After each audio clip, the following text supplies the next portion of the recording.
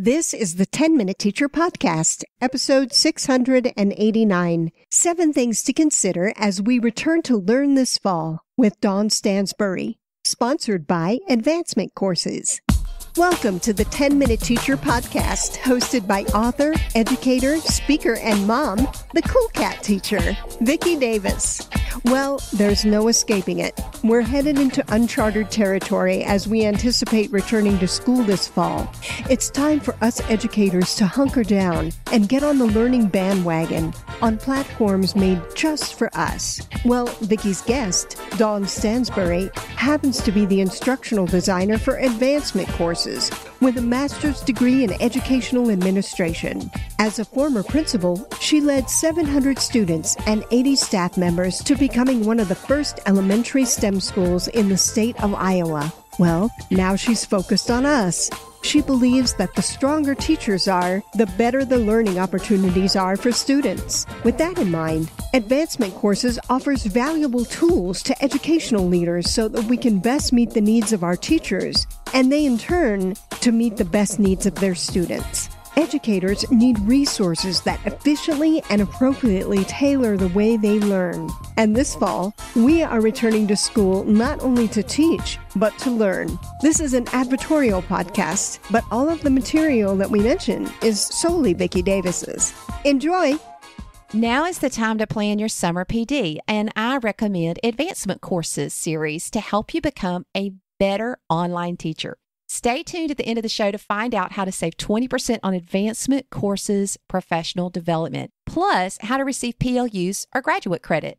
Today we have a special episode with another one of my friends from Advancement Courses. This is a sponsored episode, but of course the content is always my very own. There will be some information about how you can get a discount from advancement courses at the end of this podcast. So today we have instructional designer Dawn Stansbury, who has an expertise as both a former teacher and a principal and led one of the first elementary STEM schools in the state of Iowa. So, Dawn, we are talking about seven things to consider as we return to learn post COVID. And we can't really say post COVID because we're still in the middle of it, aren't we? What what's learning going to look like in the fall? Many schools are trying to decipher what it exactly it's going to look like and it spans the range between being completely in person and some schools i've heard are doing half days um, and splitting the classes up half go in the morning half go in the afternoon. Some of them are going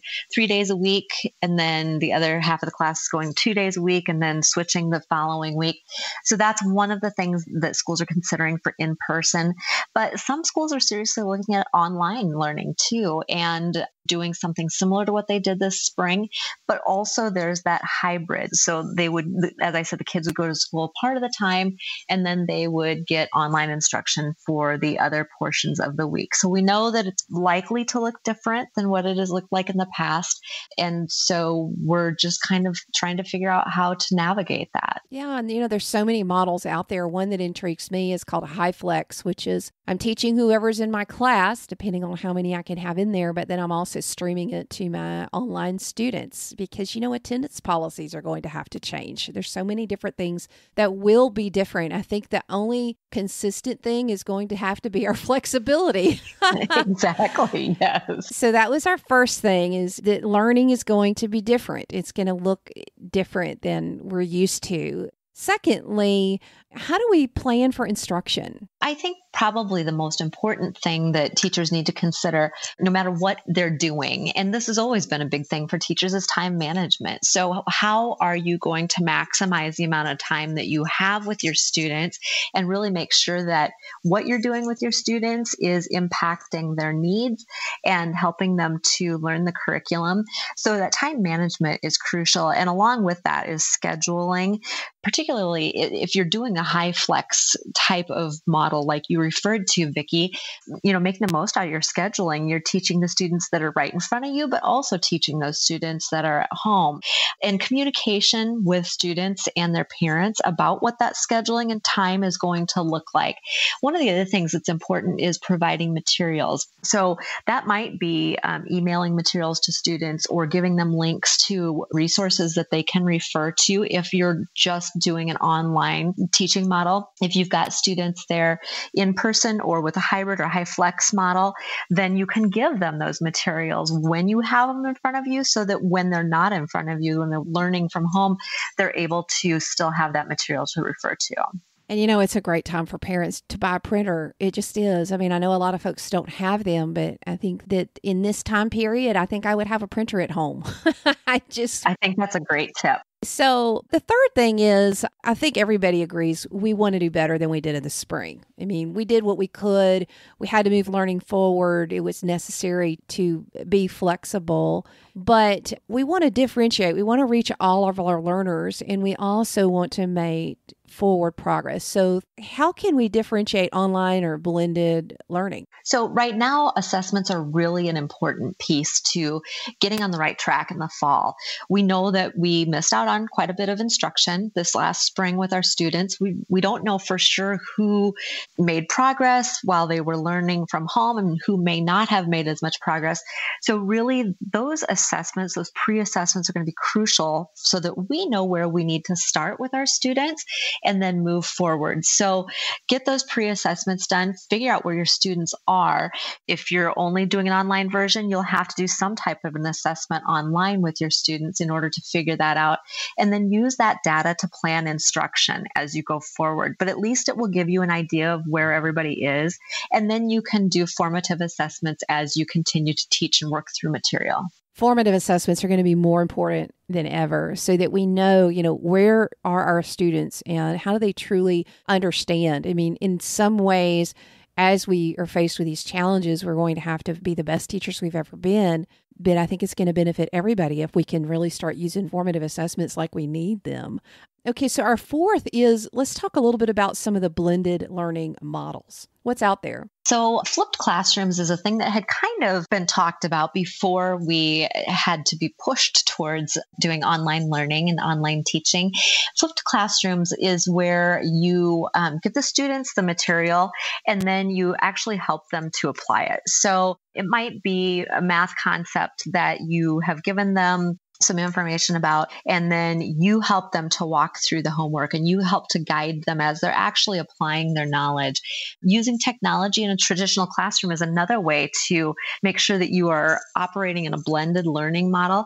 The more that we can incorporate technology and the online learning or independent learning with our students, it's going to help should we have to go to more serious at home learning. You know, so if students are comfortable with using different technology in the classroom, such as Seesaw or Flipgrid or, or some of those other pieces, when if they were to have to work from home on something, then they would be much more comfortable with it. And teachers can just be much more comfortable with using it on a regular basis too as I've been writing for a very long time, the Excellent Classroom is made of bricks and clicks, and they merge together to create a powerful learning environment. And we needed to intentionally design our face to face classroom and our online classroom and blend them together. It's just kind of what we do.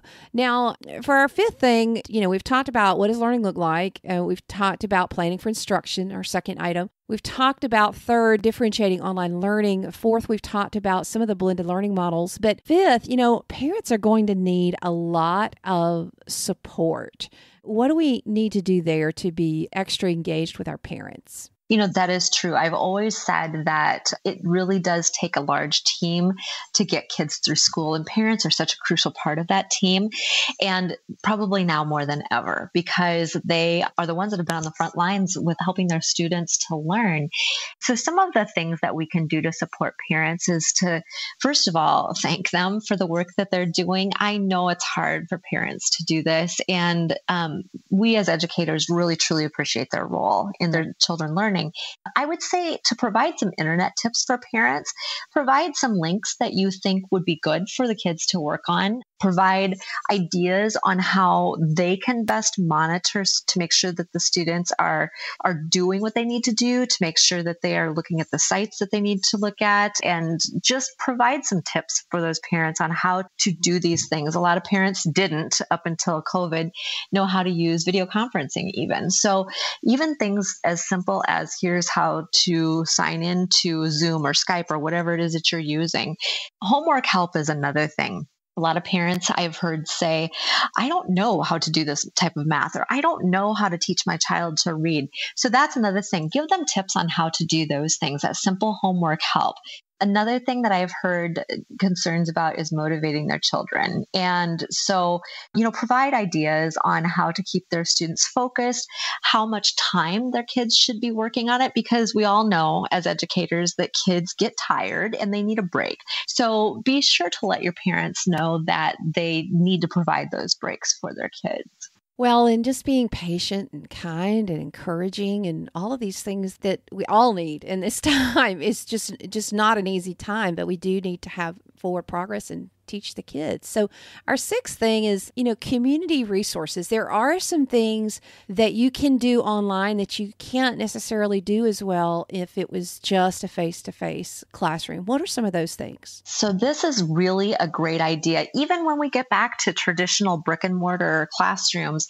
So, virtual speakers is a big thing. Um, look online for different people that might be able to speak to your students, have them read a book on video video and then provide that to your students. Your students will enjoy seeing them. They'll enjoy hearing from somebody other than their regular teacher, and they'll like to see that leadership. And honestly, the guest readers will enjoy doing it too. Another thing is local experts. So when I was a principal at the STEM school, we had an engineer that came in and taught our fifth graders how to design a roller coaster. The kids loved it. The engineer loved giving back and working with the kids. So tap into your local experts. Now, they could do it virtually, or if you're in a brick and mortar school, they can come in and speak too. But you know, as we finish up, there's something really important we need to consider. Now, there is a stress scale I was looking at the other day called the Holmes Rahe R A H E stress scale things on the stress scale that would be something like uh, changing responsibilities at work. Uh, somebody begins or stops work. People begin or end school or college. There's a change in living conditions, revision of personal habits, change in work hours and conditions, uh, change in recreation, change in social activities, change in church activities, change in sleeping habits. Okay, I could go on, but all of these things add up to be that we are, as teachers, are all significantly stressed. Our students are significantly stressed, and the parents are significantly stressed.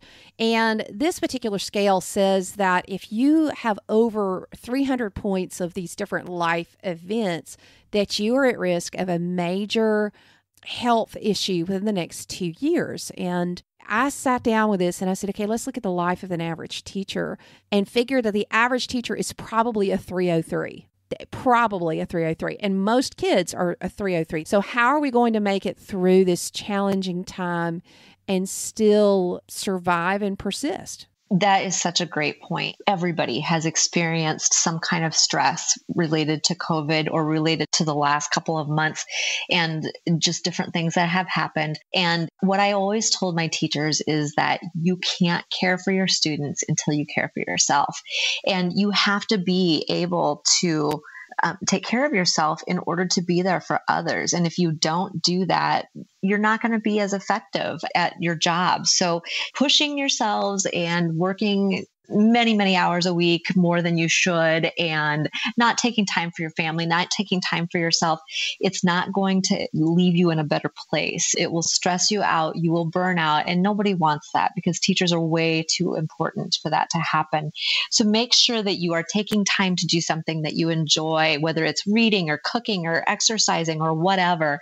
Um, eat healthy, get enough sleep, get plenty of nutritious foods. It's, it's really important to you but to your students and to your family as well. Well, teachers, there's a lot we don't know about the fall, but one thing a lot of us do know is that we'll be involved in persisting and enduring and in putting one step in front of the other. I think it's important to realize that we will all have different circumstances in our individual schools that will be unique But so many of our circumstances will be determined by our own internal compass, the way that we deal with stress, the way that we encourage and we help others, how kind and patient we are, that whatever we are faced with, that we need the flexibility to be able to just work together and to bring our A game, but also to know when it's okay to admit that we might be on our B or C game, but we're doing it with our very best attitude and intention and work ethic because, you know, that's all we can do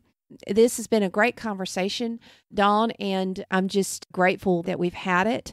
I do hope all of you will stay tuned. We will have a link to some different courses that you can take as an educator to help you improve in these different seven areas as you prepare for the fall. So thanks, Dawn. Thank you, Vicki. We know that our fall will look different, but we're not really sure how. But whatever we do, we know that online learning will be part of our teaching next school year. So, what better way to understand online learning than to take your summer PD online through advancement courses? They offer over 280 graduate level PD courses in 20 different subjects, all self paced with up to six months to complete. Go to advancementcourses.com forward slash coolcat and save 20% off each course by using the code COOL20. That's just $120 per graduate credit hour or $160 for 50 clock hours. You can also receive graduate credit through CAEP and regionally accredited university partners for continuing education requirements. Never stop learning, and thanks, Advancement Courses, for sponsoring today's show.